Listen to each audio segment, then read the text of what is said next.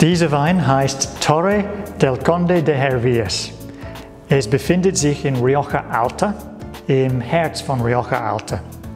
Es ist äh, ein Familienbesitzer und was sie sehr speziell haben hier, ist einer der ältesten Rebbergen in Rioja.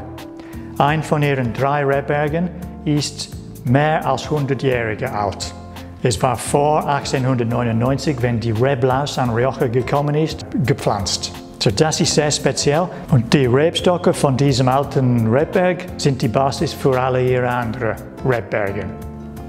Dieser Wein war von 100% Tempranillo-Trauben gemacht. Das ist ganz selten, dass man diese findet in Rioja. Normalerweise rote Rioja sind ein Assemblage von Tempranillo mit anderen Trauben. Tempranillo gibt Geschmack von Erdbeeren und ganz frisches Gefühl in, in der Mund.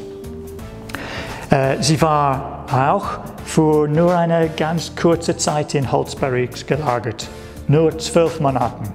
Von diesen Barriques 80% waren französisch, 20% amerikanisch. Dieser Wein hat schöne Aromen von Tabak, von Vanille, von roter Frucht.